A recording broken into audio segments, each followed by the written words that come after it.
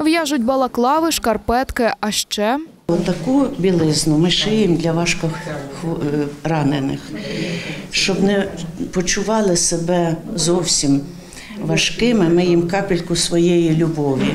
роблять обереги для наших військових. Для того, щоб наша вісточка з рідної домівки, з рідної землі їх там зберегла. та шиють прапори України. Вот здесь лежат прапора на окончательном уже этапе, когда мы застрачиваем под флагшток.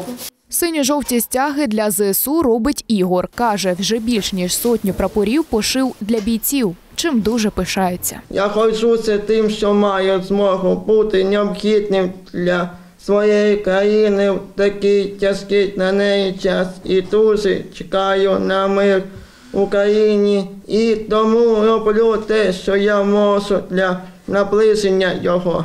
Осторонь не залишилась і Владислава. Запевняє, шиє, аби допомогти українським військовим наблизити нашу перемогу. Подяку хочу висловити нашим оборонцям, е, які щохвилини стоять на захисті України від російської навали.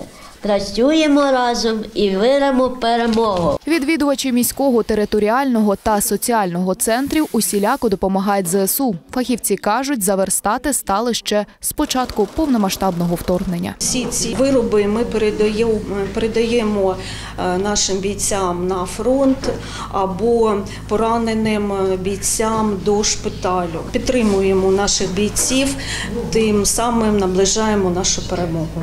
Для відвідувачів соціального центру це не тільки змога допомогти, а й навчитися новому, каже психологиня Наталя. Така праця їх дуже організовує. Так як вони мають ментальні порушення, то їм організуватися щось робити дуже дуже важко. А коли в них є така робота, тобто це для них дуже важливо. Загалом волонтери передали військовим вже понад три тисячі виробів і нині відправлять ще партію допомоги для ЗСУ. Альбіна Гриненко, Євген Гаценко, Open News, телеканал відкритий.